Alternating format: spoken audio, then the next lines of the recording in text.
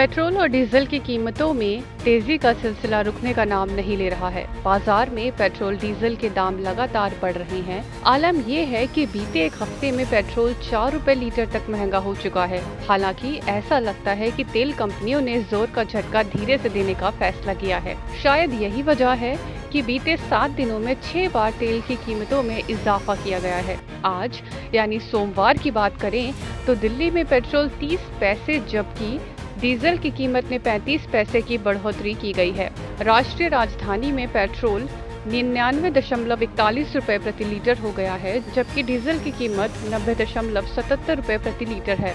मुंबई, कोलकाता और चेन्नई जैसे शहरों में पेट्रोल के दाम पहले से ही सौ के पार पहुँच चुके हैं। तेल की बढ़ती कीमतों पर विपक्ष पहले से ही हमलावर है।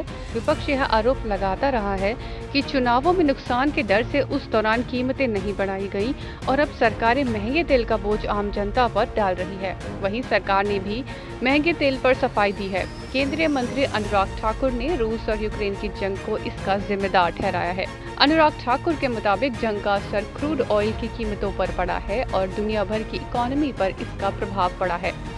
वहीं केंद्रीय मंत्री पीयूष गोयल ने कहा कि तेल की कीमतों पर अंतर्राष्ट्रीय हालात का असर पड़ा है।